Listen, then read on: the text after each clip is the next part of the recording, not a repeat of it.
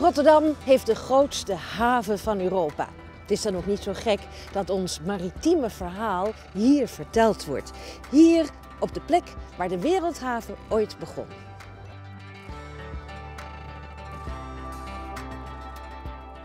Vandaag de dag telt het Maritiem Museum maar liefst 850.000 objecten. En die objecten vertellen zes eeuwen maritieme geschiedenis. En als je het dan hebt over zes eeuwen, moet je eens kijken, wat dit prachtig schip is 600 jaar oud. En kom eens hier even kijken.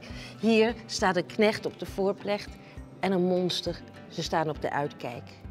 600 jaar oud. Eeuwenoude zeekaarten kun je hier natuurlijk uren bestuderen. Maar je kunt ook luisteren naar mooie verhalen van stoere zeemannen. Dit is de offshore experience en hier denk je dat je aan boord bent van een heus boorplatform. Hoe is het voor een windmolenspecialist of een boormeester of een helikopterpiloot om je beroep uit te oefenen midden op zee? Nou, we gaan het ze vragen, want ze zijn net onderweg met de helikopter hier naartoe. Nieuwe Helideck,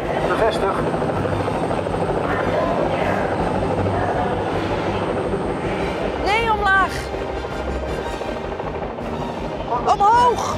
Omhoog! en nu deze kant op. En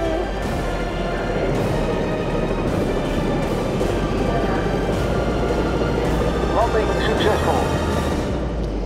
ik heb nu gewoon even mijn eigen helikopter binnengehaald.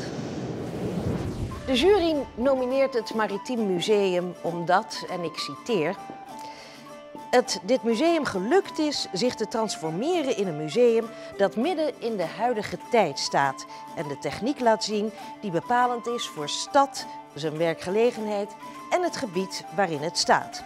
Het museum weet een zeer divers publiek aan te trekken en slaagt erin techniek toegankelijk te maken voor jong en oud. En ook de allerkleinste onder ons ontdekken hier bij professor Plons hoe het leven is op zee en het werken in de haven. En zo voelt een kapitein zich op zijn eigen schip. Gooi de trossen maar los, mannen! Nou, tabé dan, ik groet je, mijn mooi Rotterdam.